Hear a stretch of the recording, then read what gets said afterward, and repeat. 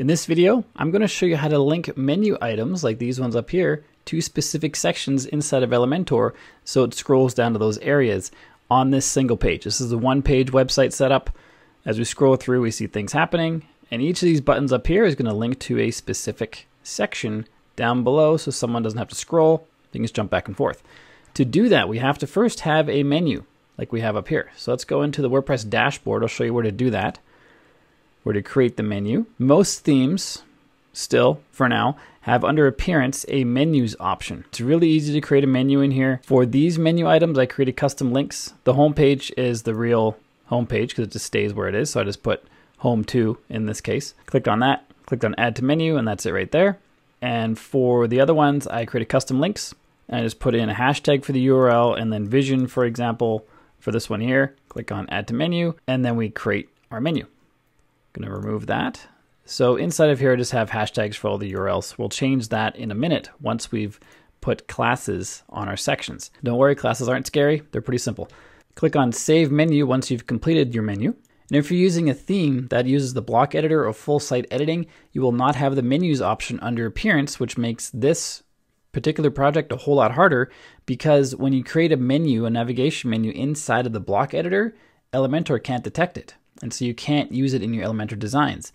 I have a workaround, a couple workarounds actually, outlined in a different video. I'll link to that in the card up above in the description down below to help you get menus into your Elementor design even when you're using block themes. Because this menu creation area is the past in WordPress, and the new is the block theme on block editor. So this will be going away at some point.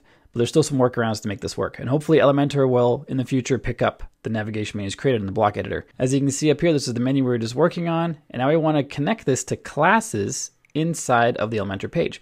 So let's click on Edit with Elementor, scroll down, and determine where we want our first link to be.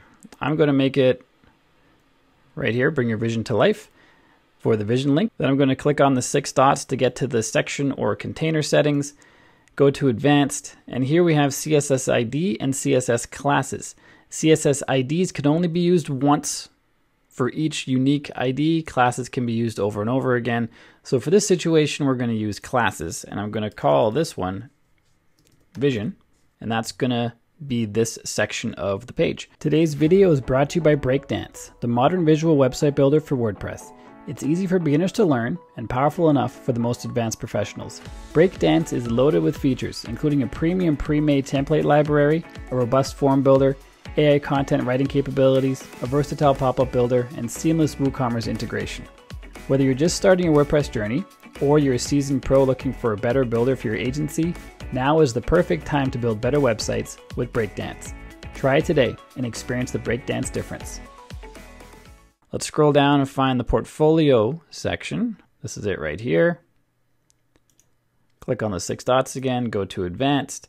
For ID, I'm going to call this one portfolio. And then contact is going to be the contact form down here. Right there.